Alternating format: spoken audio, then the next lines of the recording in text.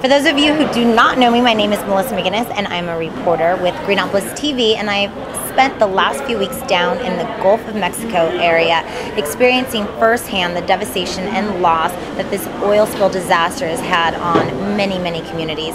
One in particular, Venice Marina in Louisiana stands out in my mind because of the great people and the abundance of wildlife that I saw when I was there. I came back to Venice Beach and I pitched the idea to Whole Foods Market about potentially having a community fundraiser titled Venice for Venice.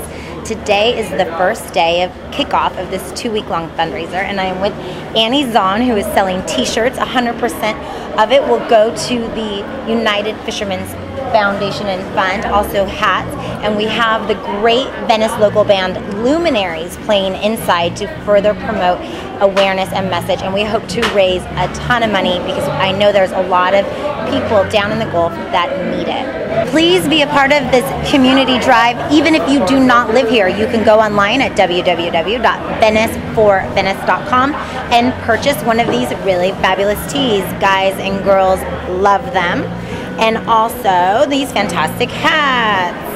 Again, 100% of the proceeds will go to the foundation. You can also just plainly donate if you don't need another hat or shirt. Just send some money and we will make sure it gets into the hands of the people who need it the most.